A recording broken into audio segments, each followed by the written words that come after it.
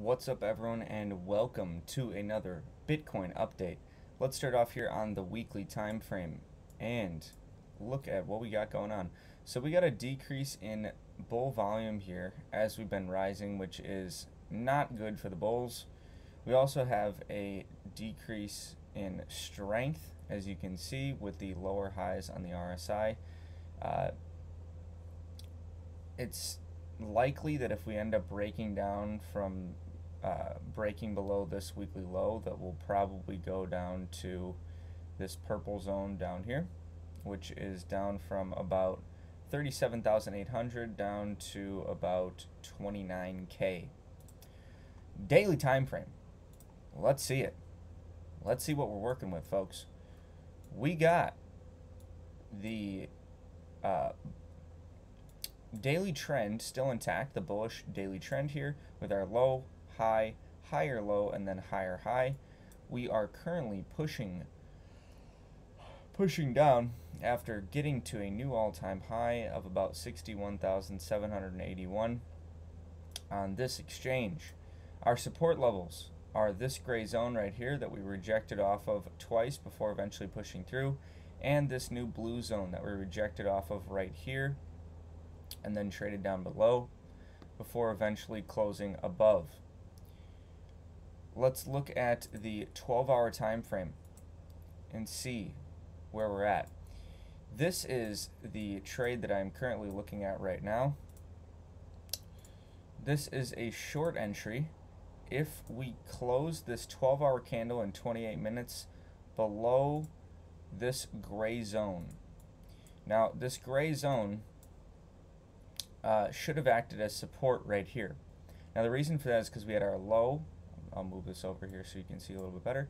We had our low, high, higher low, and then higher high. So we rejected, the price rejected right here, making this uh, a resistance level. But then once we closed above it, this should have acted as support right here. We should have bounced off of this level.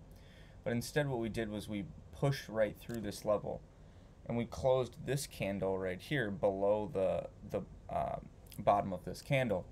If this one closes below it as well, I will look to go short on a retest of this level with my stop loss below, I'm sorry, above the high from right here. And I will be targeting the blue zone down here. So that is about a 2.23 risk reward. But um, as I mentioned, if we look at the weekly time frame, if we break below this low, which is 49,316, and we look at that on the daily time frame, where is that at? Sorry, the 12-hour time frame. 49,316 is down here. So if we go below this low right here, I would imagine that this trade will end up turning into uh, that. So that is, you know, pretty significant. The other thing is if we end up just going below that low, and let's say like grabbing liquidity there, that will still be a really nice trade of a risk reward of about 3.53.